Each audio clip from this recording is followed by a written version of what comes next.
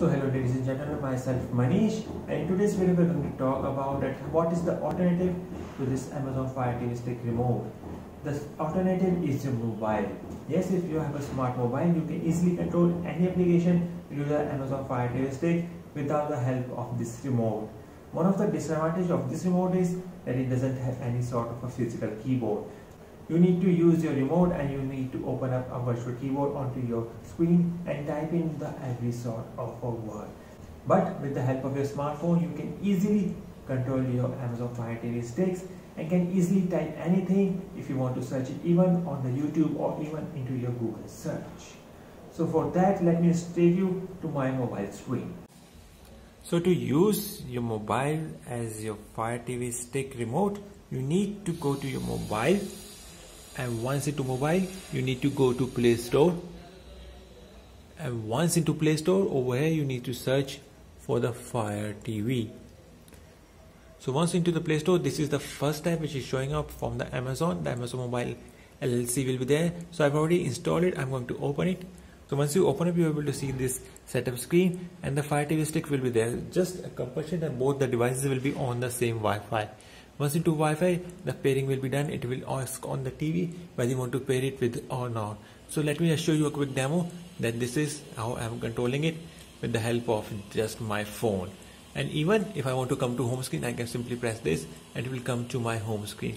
Let me show you that how easily you can open up YouTube and can type in any information with the help of just this mobile.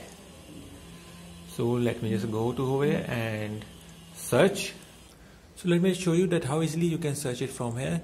First you need to just press the search button over here. And once into search press any sort of you can see.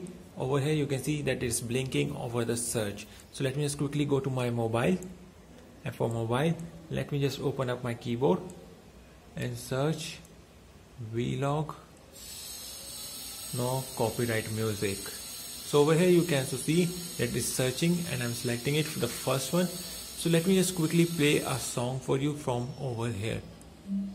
So let's suppose we're going to play this playlist.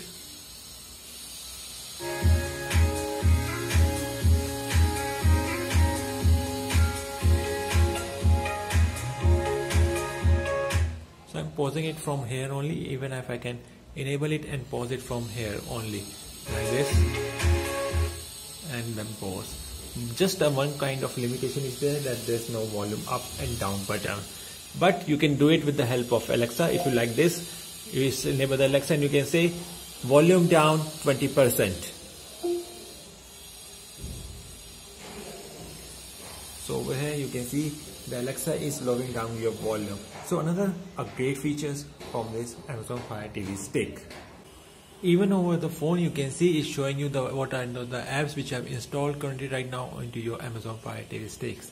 So another a great feature which if you want to use it from your mobile to your Amazon Fire TV sticks. So you don't need to purchase any sort of external keyboard or the mouse to control your Amazon Fire TV sticks. So if you like this video give a big thumbs up. Don't forget to share with your friends and don't forget to subscribe to my channel. And I see you all in the next one